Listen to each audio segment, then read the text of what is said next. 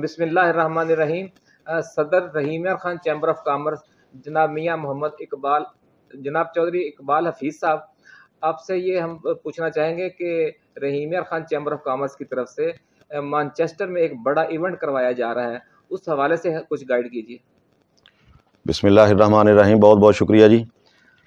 हमारा Rahim Yar Khan chamber of commerce के platform से एक वफद जुलाई के एंड पे या अगस्त के शुरू में मैनचेस्टर में एक कॉन्फ्रेंस हम करवा रहे हैं, जिस यूके पाकिस्तान बिज़नेस कॉन्फ्रेंस जिसका मेन मकसद है कि पाकिस्तान की जो बिज़नेस कम्युनिटी है, उनको जो हमारे बिज़नेस के मसाइल हैं या बिज़नेस का इम्पोर्ट एक्सपोर्ट का जो मामला है, वहाँ हम तय करेंगे उनके साथ, और जो यूके के हमारे बिजनेसमैन होंगे, उनको हम बताएँगे कि रहीम यार खां में जो हमारे इंडस्ट्रियल स्टेट है, या जो जो भी चीज़ें यहाँ आप इंपोर्ट कर सकते हैं एक्सपोर्ट कर सकते हैं, उसके मतलब मुकम्मल ब्रीफिंग दी जाएगी उनको, जिसमें तकरीबन 40 और या 45 के लगभग हमारे वहाँ हम ये मेंबर लेके जा रहे हैं, और वहाँ हमने हाल वगैरह भी बुक करवा ली है, और इन ताला ये एक नतीजा खेज जो है ना जी होगी। अच्छा ये फरमाइएगा कि जो इस वक्त सूरत हाल है, मुल्क की मीशत की तो हर किसी पर बोझ बढ़ता जा रहा है। महँगाई का बोझ हो तो अवाम परेशान है और इन्वेस्टमेंट ज़्यादा चाहिए हर इशू के लिए क्योंकि डॉलर का रेट बहुत बढ़ गया है। ये ये जो मुश्किल दरपेश हैं, ताजर बरदरी को और सनतकारों को, इसके हवाले से आपका क्या कहना है?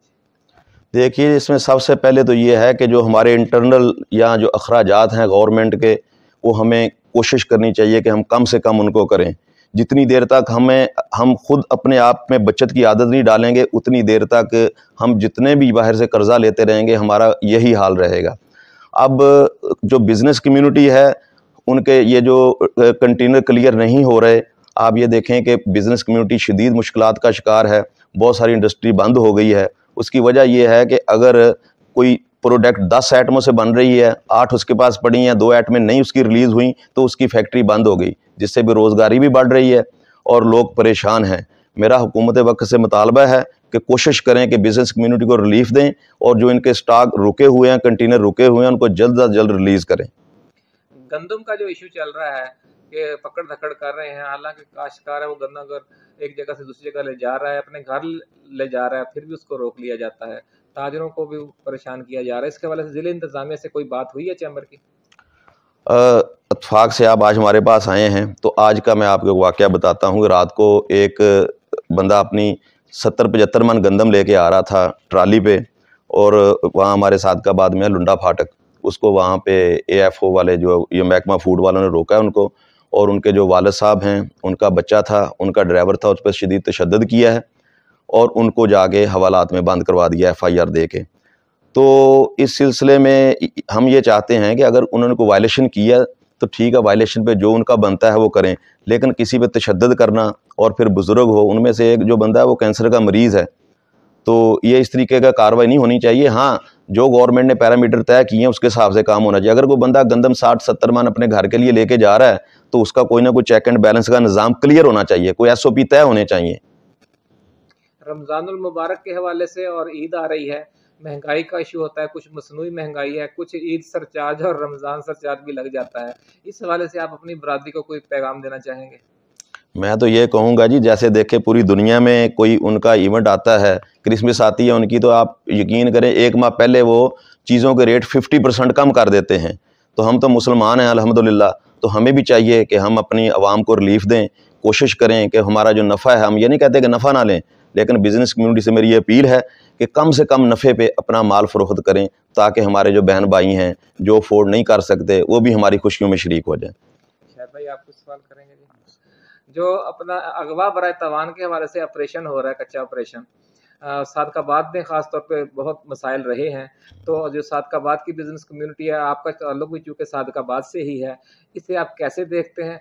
और जो एक और इशू साथ ही चल रहा है जो इंटरचेंज है सी पैक मोटरवे का। इस हवाले से कुछ फरमाइएगा कि वो दो घरों में लड़ाई हो रही है वो कहते हैं यहाँ बनना चाहिए वहाँ बना इस चक्कर में वो रह ना जाए।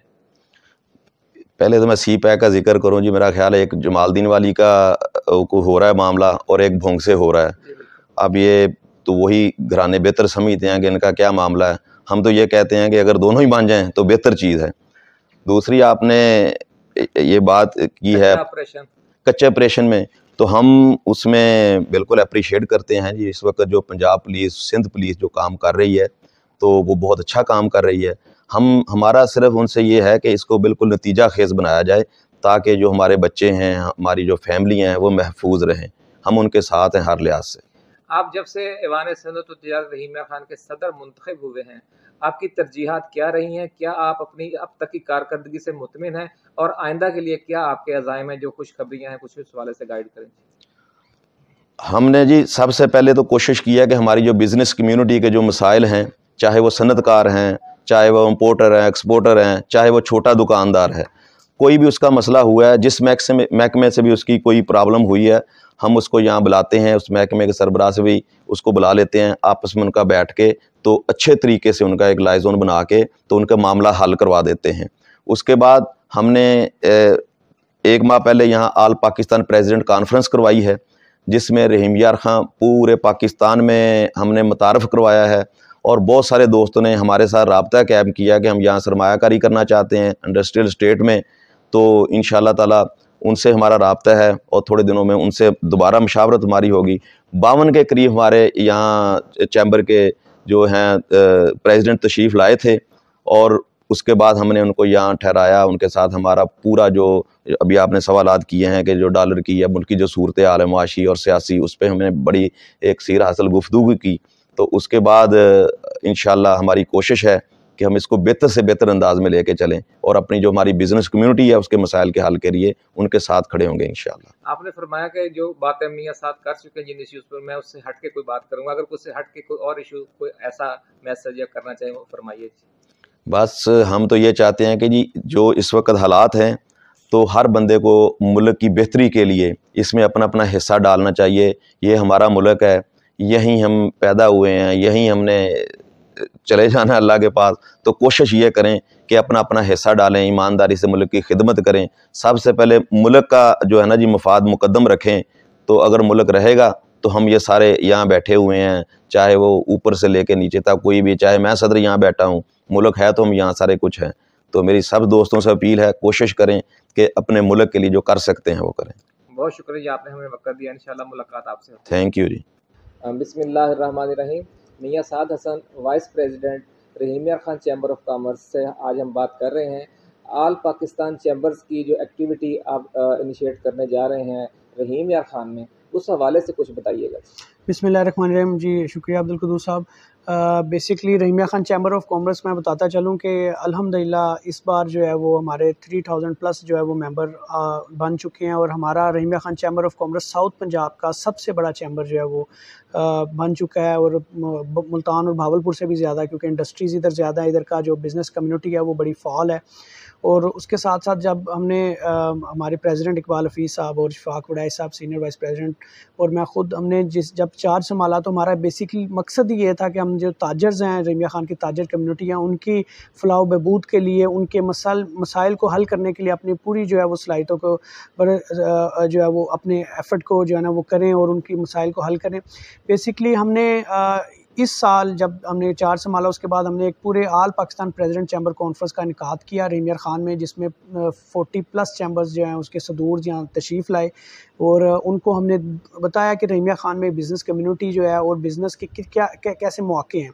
उसमें हमारा बड़ा अच्छा एक जोन बना हमने एक मुश्तर लामिया निकाला और उसके बाद हम उनको डेजर्ट जीप रैली पे भी लेके गए जिससे वो बड़ा लुफानंदोज़ हुए और क्योंकि हमारा सकाफ़ती और हमारा टूरिज़म जो है वो उसको प्रमोट करने के लिए वो एक इवेंट होता है। और अब जो है एक हमारा प्लान है कि फ़र्स्ट टाइम तेरह साल से Ramiya Khan chamber of commerce वजूद में हम फ़र्स्ट टाइम एक इंटरनेशनल चैम्बर समिट करने जा रहे हैं यूके में यूनाइटेड किंगडम में मैनचेस्टर शहर में उसके, उसमें हम पूरे पाकिस्तान के जो है बिज़नेस कम्युनिटी चैम्बर्स के सदूर उनको लेके जा रहे हैं। उसमें हम उधर के बिज़नेस कम्युनिटीज़ के साथ अच्छा लाइजून कर रहे हैं। उसमें जो हम अपनी ज़्यादा से ज़्यादा पाकिस्तान की एक्सपोर्ट जो हम कर सकते हैं उसको प्रमोट करने के लिए हम इस इवेंट में आपस में मुलाकात करेंगे। मैनचेस्टर को शायद फैसलाबाद भी कहते हैं इंग्लैंड का जी जी बिल्कुल। पाकिस्तानी कम्युनिटी वहाँ पर खासी है। बिल्कुल। तो इसमें जो Rahim Khan chamber of commerce है उसका स्पेशल किरदार है या हमारे फेडरेशन का जो वहाँ पे आप कर रहे हैं? नहीं नहीं ये बिल्कुल Rahim Khan chamber of commerce इसका मेज़बान है। और हम इसको इनिशिएट कर रहे हैं। उधर का एक चैम्बर जो है, पाक यूके चैम्बर्स हैं, उनके इश्तराक के साथ हम मिल के इस इवेंट को कर रहे हैं। और खालिस्तान हम उसको खुद कर रहे हैं इनिशिएट कर रहे हैं। और ये जुलाई के महीने में इंशाल्लाह जो है ना, आप देखेंगे कि first time Rahima Khan chamber Rahimiya Khan से उठ के एक इंटरनेशनल इवेंट जो है वो करने जा रहा है। उसमें पार्टिसिपेशन का क्या क्राइटेरिया होगा? और जो आपके मेंबर्स हैं वो जिस जो मेंबर भी चाहेगा आपके तीन हज़ार मेंबर हैं या दो हज़ार वो वो शरीक हो सकेगा इस हवाले से कुछ बताइए। हाँ जी उसमें हमने एक इसका क्राइटेरिया रखा है कि रेमिया खान चैम्बर्स क्योंकि हम इवेंट खुद करवा रहे हैं इसमें मैक्सिमम हमने अपने ना जो है वो सीट्स रखी हैं हमारे रेमिया खान के लिए इधर के ताजरों के लिए जो खालिस्तान जो है अपने अच्छी इंडस्ट्री चला रहे हैं बिज़नेस कर रहे हैं उसके लिए क्राइटेरिया यही है कि उनके जो डॉक्यूमेंट्स होते हैं जो आपके वीज़े के लिए चाहिए होते हैं उनकी टैक्स रिटर्न हो गई उनके बैंक स्टेटमेंट्स हो गई उनकी ट्रैवल हिस्ट्री हो गई ये चीज़ें मैटर करती हैं। और हमने इसे दावतें आम सबको दे देनी है जो जो जाना चाहेगा वो हमारे साथ जो है इसी वहाँ पे सीटिंग अरेंजमेंट्स के हिसाब से एक कमोबेश सीटें मखसूस होती हैं। हम्म। तो आप अंदाज़ा लगा सकते हैं कि ज़िला रहीम खान को और ख़ासतौर पर ऐवान सनत तजारत रहीम खान को कितनी सीटें वहाँ पे अवेलेबल होंगी ज़्यादा से ज़्यादा ताकि उसका कोई लोग जहन बना सके? बेसिकली हमने ना 200 लोगों का प्लान है हमारा उधर 200 लोगों का हम इवेंट कर रहे हैं। और उसमें से हमने 50 सीट जो हैं वो रेमा खान चैम्बर्स के लिए रखी हुई हैं। 50 इसलिए कि हमने ये पिछले महीने जो है हमने एक जो एक डेलीगेशन हमने बनाया यूके का 40 लोग तो उसमें हम उनको वीज़े फैसिलिटेट कर रहे हैं और 50 लोग हम इसमें हमने रखे हुए हैं। इसी तरीके से डेढ़ सौ जो सीट्स हैं वो हमने मुख्तलिफ़ चैम्बर्स हैं। काफ़ी सारे चैम्बर्स हैं, गुजरात चैम्बर्स हैं, फैसलाबाद चैम्बर्स हैं, सरगोदा चैम्बर्स हैं, पिंडी चैम्बर्स हैं। ये सारे जो हैं उनके अपनी डेलीगेशन हमारे साथ जा रहे हैं, जिनके सदूर भी हमारे साथ होंगे। अच्छा ये फरमाइए कि मीडिया के साथ हमेशा ऐवान सनत तजारत रहीम खान का अच्छा ताउन रहा है और पहले भी आपके वफूद में मीडिया से लोग शामिल रहे हैं। इस इवेंट के लिए भी आप मीडिया से भी कुछ लोग लेकर जाएँगे। ज़िला रहीम खान का तो ज़्यादा हक बनता है। जी। देखें जी मीडिया के बगैर तो कोई भी चीज़ जो है इधर मैं कहता हूँ कि जो दिखता है वो बिकता है। तो मीडिया का रोल तो सबसे ज़्यादा अहम हुआ है कि हमारी जितने भी आ, जो इवेंट्स हैं उन पर चार चाँद लगाने में मीडिया का बड़ा रोल है। तो उसमें जो है वो हमारे साथ भी काफ़ी सारे मीडियाज़ के जो आपके जो हैं वो हमारे मेंबर्स भी हैं और हमारे साथ जा भी चुके हैं। तो उसमें इंशाल्लाह हम इसमें रखेंगे कि मीडिया कवरेज के लिए हम रीमिया ख़ान के ताजरों में से इसके मीडिया पर्सनस में से कोई जो लोग हमारे साथ जा सकें तो उसमें इंशाल्लाह हम उनको जो है एक रिलीफ पैकेज देंगे। अच्छा जो सी पैक के हवाले से कुछ अर्सा पहले ये इतला थी कि जो हमारी ये जो इंडस्ट्रियल स्टेट है हम्म। उसको कुछ अपग्रेड किया जा रहा है या उस, उसका काम कुछ फाल होगा या उसके उसमें मजीद इन्वेस्टमेंट हुकूमत करने जा रही ताकि वो ज़रा आबाद हो जाए तो इस हवाले से क्या अपडेट्स हैं जी, सबसे पहले तो ये हमारे इंडस्ट्रियल स्टेट का जो क्याम है, वही Rimiya Khan chamber of commerce का एक अजीम कारनामा था। और उसके बाद जब आसम सलीम बाजवा साहब इधर सी के चेयरमैन थे तो उनके दौर में वो इधर तशरीफ़ लाए अपने दौरे जो है ना चेयरमैन में। तो उन्होंने जो है ये सी जो जोन है, इस CPEC economic zone declare कर दिया। उससे हमारे इधर एक तो लैंड हम इसको हमने जो है वो आगे लेटर लिखा हुआ इंडस्ट्री के सेक्टरीज को जिधर आए भी थे हमारे पास, कि इसकी लैंड हमें एक बढ़ाएँ, ताकि हम इंडस्ट्री काफ़ी सारी उधर लग चुकी है। और तकरीबन eighty ninety percent sold out है सारे प्लाट अब जो है वो हम इसको एक्सटेंड करके इसको एक पूरा इकनॉमिक जोन बनाएँगे ताकि इधर इंडस्ट्री ज़्यादा से ज़्यादा हो सके। अच्छा ये फरमाइएगा कि जो मौजूदा प्रेजिडेंट हैं इकबाल हफीज़ साहब, उनके आने के बाद रहीम खान चैम्बर की जो कारकर्दगी है, जो या जो इसकी एफर्ट्स हैं बिज़नेस कम्युनिटी के हवाले से उनमें क्या मस्बत तब्दीली आई है? सबसे पहले तो मैंने जी ये बताना चाहूँगा कि लोगों का कंसेप्ट ये था कि ये चंद लोगों की जो है वो आ, क्या कहते हैं जारादारी है इस चैम्बर में और जो सिर्फ़ इंडस्ट्रियल लोग हैं या फिर जो सरमायादार लोग हैं वो उनका ये समझ लें किचन है। बड़े घर हैं। बड़े घर हैं। आप इस बार अलहमदिल्ला आप देख सकते हैं कि जो इकबाल हफीज़ साहब हैं वो एसोसिएट क्लास से हैं और वो एक आम समझ लें कि ताजर्स उन्होंने सारी ज़िंदगी जो है वो तजारत की है और और मैं ख़ुद भी एसोसिएट क्लास से हूँ।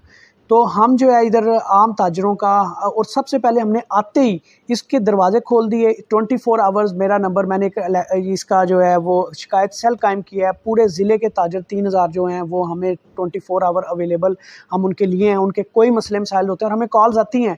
हमें जो भी कॉल्स आती हैं डीसीओ से रिलेटेड डीपीओ से रिलेटेड एसी से रिलेटेड हम फौरी तौर पर उनके मसले को हल कराने के लिए अपनी पूरी कोशिश करते हैं, और यही हमारा करदार है सर, कुछ आप सवाल करेंगे? सब मौजूदा महँगाई ने ताजरों को किस हद तक मुतासर किया है? जी आप देख सकते हैं कि हमारा जो मुल्क है वो फाइनेंशियल क्राइसिस में है और दिन ब दिन जो है वो चीज़ें बड़ी महँगी होती जा रही हैं और हम इस इस सूरत हाल में स्पेशली जो आम ताजर है छोटा जो सफ़ेद पोश है उसके लिए कारोबार करना बड़ा मुश्किल हो चुका है। बिजली के बिल आप देख लें उसके बाद आपके जो दूसरे अखराज आप देख लें आप जो आज चीज़ आप लेने जाते हैं हम पीछे से परचेज़ करके आगे बेचते हैं जब हम दोबारा लेने जाते हैं उसकी प्राइसेस इंक्रीज़ हुई होती हैं। वो फिर ऑटोमेटिकली कस्टमर्स पे उसका जो है ना वो, वो वज़न डलता है। जब इन्वेस्टमेंट बढ़ गई है डेफिनेटली हमारा तो प्रॉफिटेबिलिटी अब तो सर्वाइव कर रहे हैं हम।